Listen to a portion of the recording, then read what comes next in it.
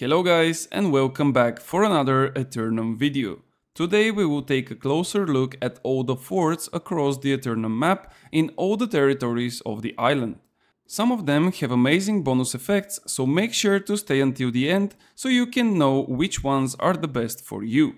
Before going over all the forts on the map, we have to know a few basic things. Each fort can be captured by a faction and after that it will be locked for 1 hour. After those 60 minutes, the fort will be open again for capture, but if nobody shows up, it will remain under the control of the last faction which captured it. The bonus of each fort is provided to all faction members, regardless of their level, PvP or PvE flag status or anything else. Now, when we know the basics about the forts, let's start with the south side of the island. The first one we will take a look at is the one in Cutlass Keys. This one provides a bonus of 1% luck while gathering across the map. This bonus previously was 10%, but it was reduced due to a wrong calculation formula. Going a bit north from Cutlass Keys, we will end up in Monarch's Bluff. The fort there will provide us with a bonus of 5% experience, and this might become handy for all the newcomers on Aeternum.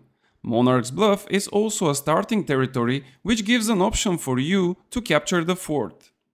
Continuing further north, we are now in Ebonscale Reach. The old castle there will give us a discount for all the items in the faction shop. The discount will be 5% of the tokens needed for any of the purchases, but will not affect the price of the goat. The last step on our path to the north will be in Brimstone Sands. There, if we manage to capture the fort, we will receive a bonus of 10% yield for all the gathering skills.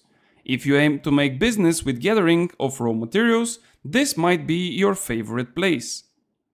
In the very center of the map, hidden inside the misty woods of Brightwood, there is a fort which gives a really special bonus.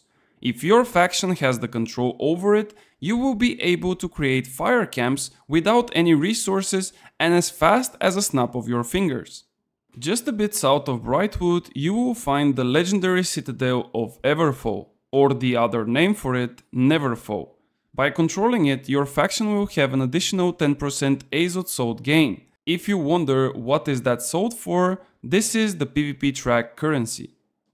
Not far away from there is another epic fort. Right in the middle of the fields of Windsward, there is a small citadel that will provide a bonus to all faction members. This one is also a bit special, as it will increase the chance by 10% for each consumable to not be consumed when used. Getting to the southeast side of the Aeternum Island, we have the territory of Reekwater. The bastion there is more PvP friendly and will provide you with 10% increased PvP experience. This will affect all the types of experience received from Arena, OPR Battlegrounds, Open World Kills or Wars. The next one on the line is probably the most contested fort of all and is located in the most hated territory of all. The region is Weaver's Fen and the bonus from there is 10% yield on all refining skills. This is highly valuable bonus especially when you are processing your daily cooldowns, but also it can make a big difference for high volumes of refining. From the best, we move a bit to the north and we end up in the newest one on the map the one in Edengrove.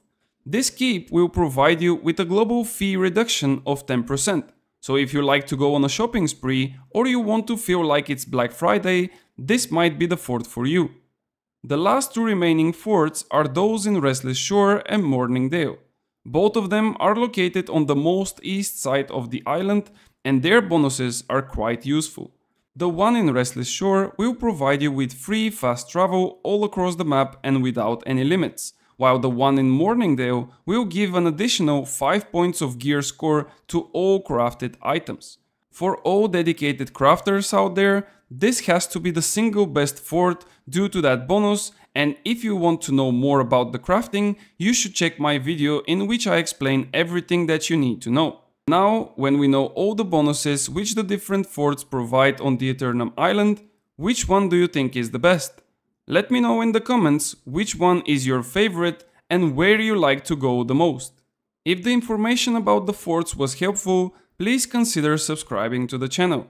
There is a lot more information and tips which you can find there as well. If you have any other questions or you want to catch me live streaming, check the description below. There you can find useful links to my stream and my Discord community channel. As always, thank you so much for watching and I will see you on the next one.